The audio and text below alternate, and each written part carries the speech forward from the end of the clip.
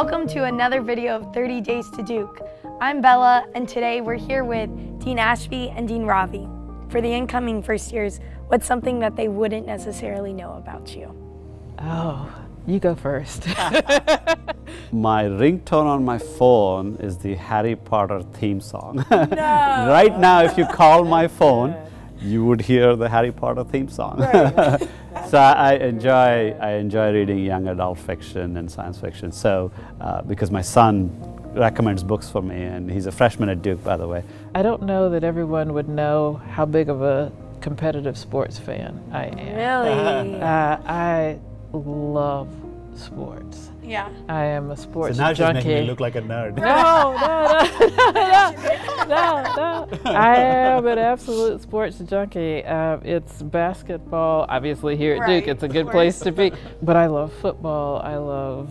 Uh, you already know this. I'm a huge NASCAR fan. Yep golf, tennis, you name it. I yeah. love competitive sports. Do either of you guys have any pets? Well, we just got a puppy. It's like having another kid all over again. Yep. Uh, so her name's CJ, and she's 12 weeks old, and she's a golden doodle, um, and it's amazing the effect she's had on all of us in the family. Oh, so it's been amazing to have her here. So one of my uh, colleagues who um, is in the evolutionary anthropology department, uh, Brian Hare, he works on puppies. Right. And so we built a puppy lab, and they named a doggy after me in hopes that I will Wait, they will grow on me. and they bring the puppy named after me to visit in hopes that I am going to warm up to this. so. No. What is on your car radio right now? Oh, that's interesting. Uh, you go first. For me, it's always the same answer. We always turn to NPR. You know, oh, so yeah. we were joking when we were pregnant with our daughter and son that they would be confused about who the dad is and think that it's Bob Edwards. they would keep hearing NPR. Uh, so that's what we do. I mean, I find the uh, even in the gym I listen to NPR. Yeah. So I love two kinds of music. Particularly, it will always be either some version of gospel music that okay. I love or some version of jazz. I love it. I can read an academic paper and have that in my ears. Yeah. Or I can be on the elliptical and have that in my ears. Yeah. It's the first thing I turn on when I wake up in the morning and it's probably the last thing I hear. Yeah. Can you tell us what freshman year was like for you and oh my. who you were that year? Oh my. Oh, so these guys are so far in front of where I was in their thinking and their being and their maturity.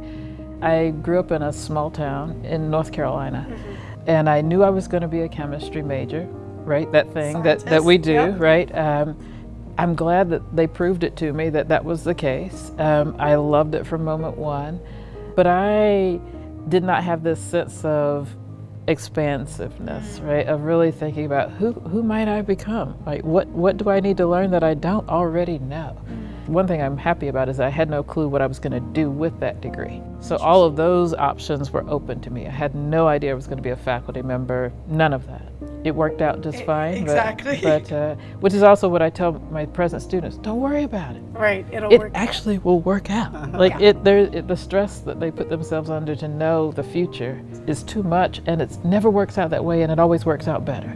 Right. So if they would just hold on, it will be okay. So. yeah. yeah. No, I had a great experience in college and uh, grad school, and so I never left. I'm always in it.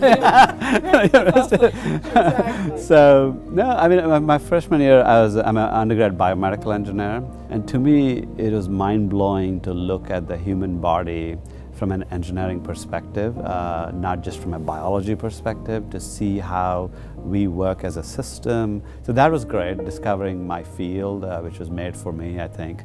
Uh, the other part about it is I played a lot of sports, actually. so in college, so um, I grew up in India, so I played cricket for my college. I, I, I tried out for the team and made the college team, which was awesome as a freshman. Just discovering being away from home and uh, making friends and things. And to this day, these are my best friends that I made in freshman year. I would echo the friendship piece. Mm. The incoming student should not miss the people in their class.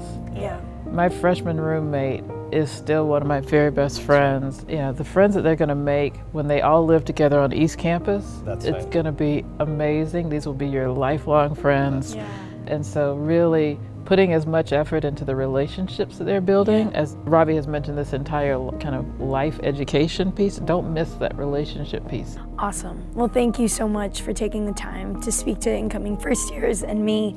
That concludes another video of 30 Days to Duke. We will see you tomorrow. Welcome to Duke. Welcome.